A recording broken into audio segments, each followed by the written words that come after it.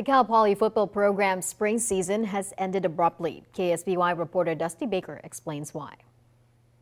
The 2021 spring football season for Cal Poly, unlike any other, after just three games, they decided to call it a season after having too many injured players and not enough players to go on the road with the team.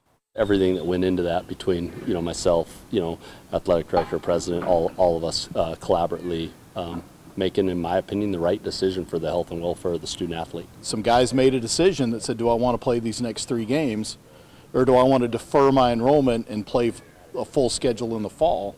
And a bunch of our starters decided that they were going to do that, and that's their decision to make, and we supported them in that. Cal Poly's shortened season cut short due to numerous team injuries following a rushed off season. We were at a point where we were well short of of having enough to travel, and that would be bringing every single eligible body that's healthy. They're young men that should be redshirting you know, not going up against 21 or 22 year olds for 60 or 70 snaps. The Big West requires 64 players to travel. Cal Poly only 49 healthy bodies, leading to the only question being was playing in spring the right decision? With the data that we have, uh, we probably would have not.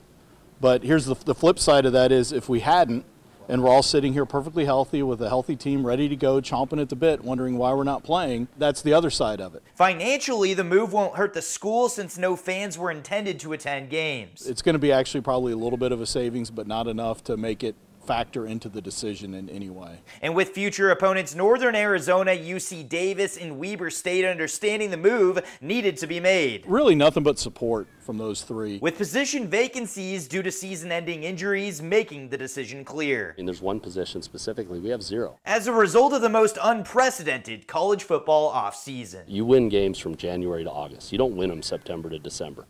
And just to clarify, COVID 19 was not the reason why Cal Poly decided to call it a season. They actually had a fully healthy team, but unfortunately, due to the number of injuries, as well as not having enough time to practice and prepare for this season, that was ultimately what led to their downfall. Reporting at Cal Poly, Dusty Baker, KSBY Sports.